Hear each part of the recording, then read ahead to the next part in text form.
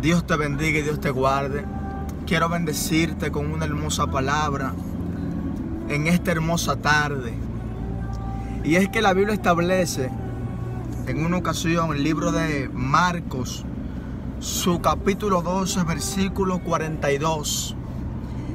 Y es que en una ocasión habían personas que echaban dinero, personas que tenían dinero en cantidad, eran ricos.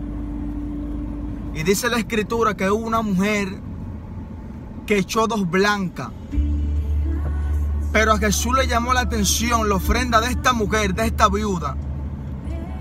Porque la Biblia establece que esta viuda simplemente echó de lo que tenía, no de lo que le sobraba.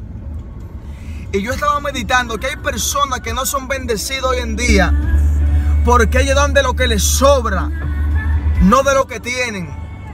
Cuando tú, cuando tú das de lo que tú tienes, tú eres bendecido. El favor de Dios se mueve sobre tu vida, se mueve sobre tu casa.